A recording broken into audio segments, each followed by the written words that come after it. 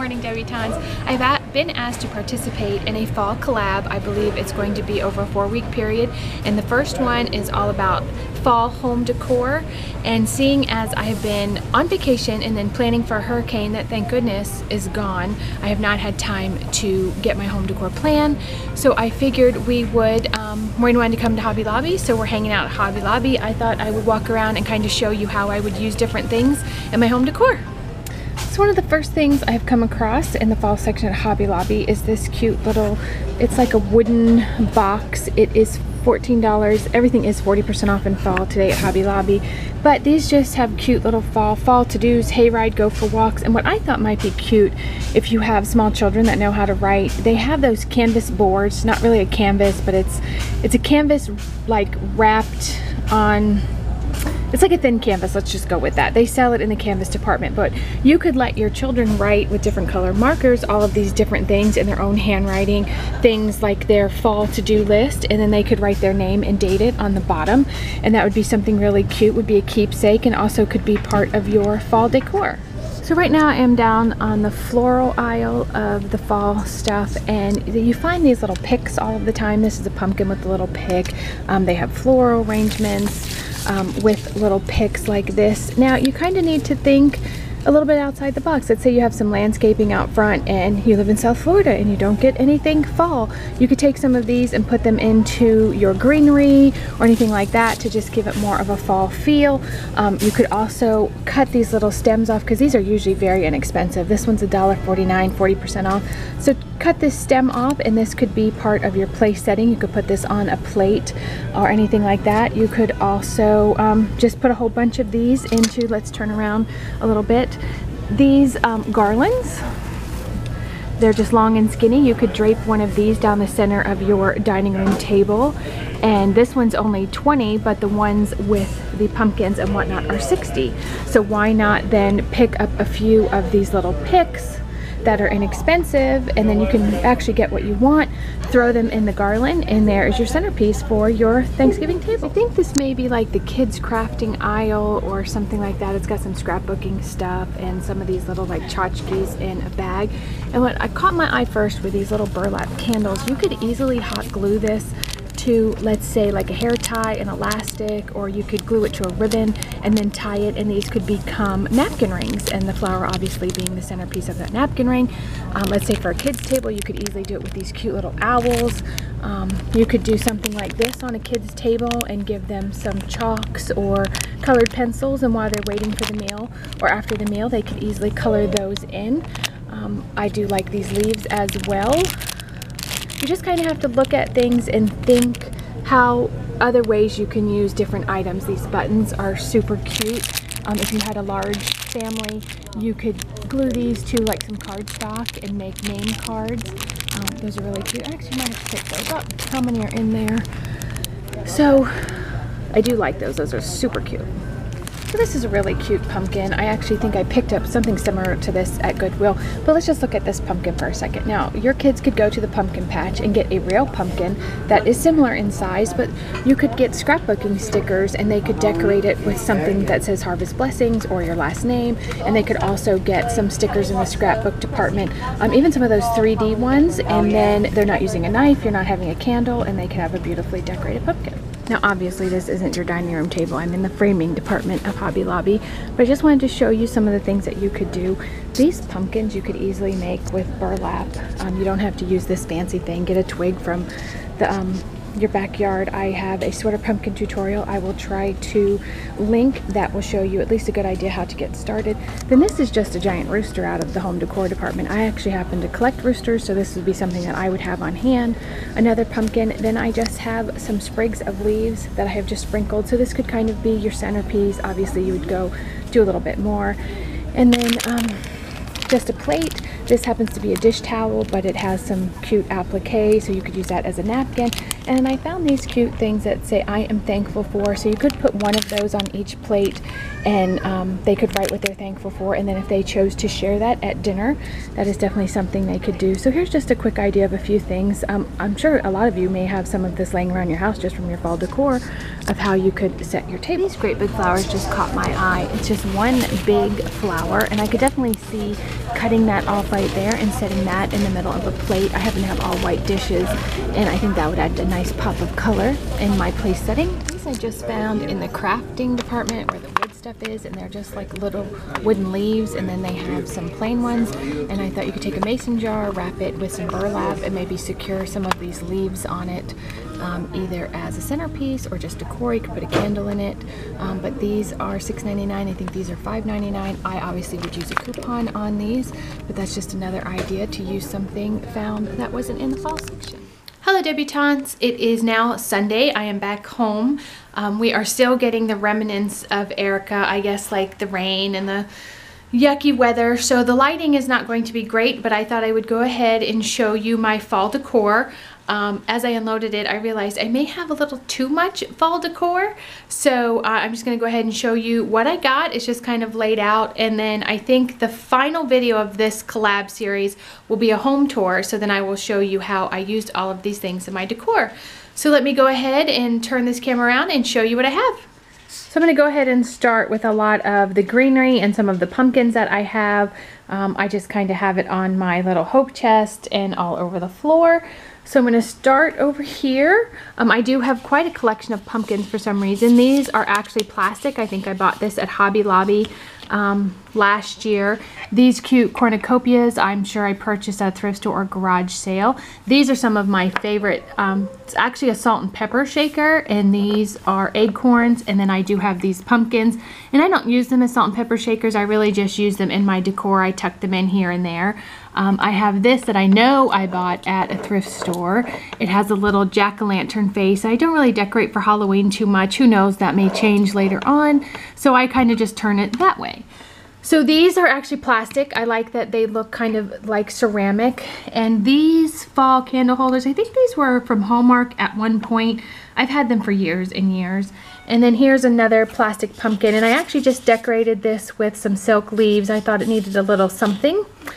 Then I have this wreath that I purchased, and as I was taking things out of the attic, I realized that my husband had set something quite heavy on the flowers, so this is going to have to be um, fixed a little bit, and I want to put maybe a burlap banner across the wreath that says blessed or thankful, um, so this will probably be getting a makeover. Then this is actually one of my favorite items that I purchased. I paid 49 cents for this. I bought it at Goodwill and it's actually a cookie tin and I just like the colors and I thought it would bring some color to my fall decor but when you took take the lid off it says enjoy inside. So I actually set the lid up in like a plate hanger and use it as part of my decor because it's pretty on both sides. Then I have these leaf sprays and I will put these somewhere in my house. I like the colors. They look a little bit more realistic. I have loose leaves that I will use throughout just as more color because you know in Florida we don't get all of these fall colors. These are some of those picks that I was talking about. Um, I will put these in a cornucopia that I will show you that is on my table. These are actually long garlands that I, who knows what I'm going to use these for this year, but I have them. Again, I like that they look a little bit more realistic. And then in here I just have a collection of gourds and pumpkins and things that I can scatter about in some of these garlands and whatnot. So now I'm going to show you all the stuff that I have on my dining room table. So this is what I have on my dining room table. I have quite a lot of stuff. I tried to kind of lay it out um, so you could see it and that's when I realized I have a lot of stuff. So we can start back here with these big ceramic turkeys. I believe I bought this one at a garage sale. This was actually a different color. It was like a gray beige color and I spray painted it last year. And then this is one of my favorites. I just purchased this at a thrift store and this one was $3. I do not think any of these turkeys were more than probably $4. And I also have this turkey, which is a little planter. Then I have, this is a crystal pumpkin, has a little lid that comes off. I think I paid 79 cents for that. And last year I put my sugar in here by my coffee stand so it would have a little bit of fall decor. So this year I actually have bought this big acorn-like cookie jar.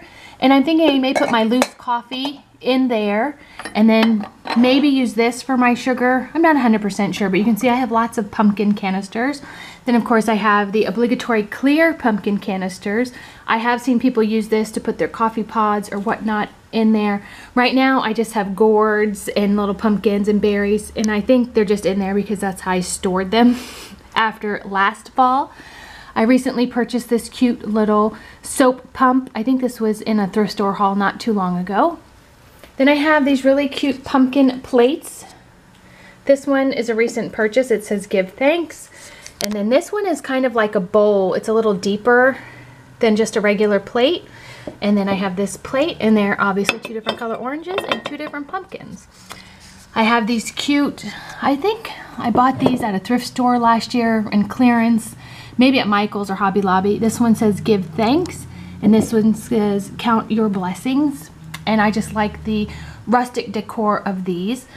I picked up this jack-o'-lantern, I don't know, my travel somewhere. I don't, again, I turn this around so you can see that part. You can put a candle in there, something like that. I bought this cute little jack-o'-lantern wooden box not too long ago.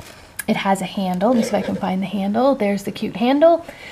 And I don't know what I'm going to use that for this year. And then I have this flower arrangement that I will replace one of my spring arrangements with. And I bought that at Michael's on clearance. I have this really cute Faith Family and Friends pumpkin. I think Maureen and I were trying to race to, towards this at a a garage sale and I got to it first, so it became mine. She actually does have one very similar that she stole out from under me at a different garage sale.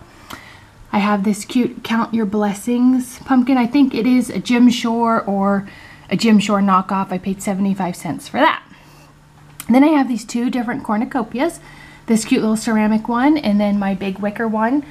And this is the one that I usually use my fall picks in. I put them all in there and put some more pine cones and it's just a nice large size so it looks pretty. Then I have all of these sweater pumpkins. This was such an easy craft to do that I may have gone a little overboard. I have little ones and bigger ones and all different sizes. I do have a tutorial on how to make these so I will try to link that down below. Then over here I have these cute wooden pumpkins. This was a craft night at my house I think that's a two by four, maybe, I think this is, I don't know. They're different sizes of wood. That's a two by six. I think this is a two by four and this must be a one by four. And we just painted them. We drilled holes and put twigs in the top. Used a little wire for the stem. And that's what the tops look like. So grouped together, they make a cute little display. I purchased this Thanksgiving book at Goodwill and I do stand this up in a plate, you know, one of those plate stands. But what I like, I think I paid $2.49 for this book. But this actually has a turkey on it. So I can use it as is or with the dust jacket that says Thanksgiving on it. So just when you're looking at things, think outside of the box on how you could use books or anything like that in your home decor. Again, I picked up this cute little, I think it was a postcard. I think it was 25 cents. And I just put it in a frame and I'll set that up in my decor somewhere. I just liked it. I actually found these Pottery Barn place card holders in the garbage. Someone was throwing them away. I think they were like yard sale leftovers. Um, so if it's free, it's for me. I don't use these necessarily as place card holders. I use them as vase filler or something like that, but they're super pretty. Then I have this banner that I made, I want to say last year. I think total, all of it says happy fall, y'all, but it was just too big to lay out. So I think I have a tutorial on how I made this as well. If I find it, I will link that down below as well. Moving back over here, of course, dish towels. I really like the colors of these dish towels. So these will probably hang from my stove handle. Then I picked up these two gourds at a garage sale. I like them because they add a little bit more of a color dimension, not just the orange. There's some green and some yellow. So two of those. And then recently my friend Meb had a garage sale and I purchased this bowl from her. I either purchased it or she gave it to me. I'm not sure. But it's really pretty and I thought it would be nice for a floral arrangement. I mean, I don't know if it's food safe. I didn't read the label, but I'm sure you could put mashed potatoes or something like that in it. And then inside, the last thing I have are my Easter egg acorns that I made last year. I do have a tutorial for this and I will try to find it. I basically spray painted plastic Easter eggs. I sprayed them with a primer and then I painted these like a bronzy gold. And then I just glued twine to the top to make it look like an acorn. And I have gold ones and I have cream colored ones. So those were super cute. And again, I use those as vase filler. Obviously the paint chipped from being in the heat on this one. So I have to touch that up. So this is just all of the decor that I will be working with for my fall home decor. It is right now August 30th, 31st. So I will probably, within the next week, I will be adding bits and bobs and those types of things. The one thing I did forget was this that I made last year. It says Be a Blessing, and it is just a round frame that I bought at Goodwill. I put a piece of textured scrapbook paper behind the glass, and then on the glass, I just used scrapbook stickers. And why I did on top of the glass is because these are actually three-dimensional. They're like a corrugated paper, and I didn't want them to get squished down by the glass. So that is the final thing I made last year for my fall decor. So guys, I hope you enjoy this ginormous amount of thrifted and handmade fall decor. I will look forward to showing you how I use it all in my home for the fall season. So guys, I really hope you enjoyed this video. Please subscribe if you have not, and please leave comments if you are new to my channel. I love to get feedback, and I do try to answer most of my comments. So everyone, I will see all of you in my next video. Bye!